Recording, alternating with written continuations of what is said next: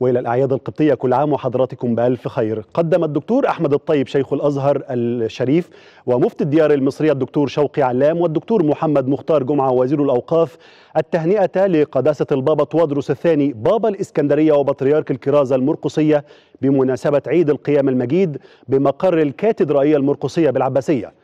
رحب قداسة البابا توادرس الثاني بزيارة الدكتور أحمد الطيب والدكتور شوقي علام والدكتور محمد مختار جمعة وزير الأوقاف وجميع الحاضرين. لافتا إلى أن القيامة تمثل الأمل والرجاء في حياة الإنسان.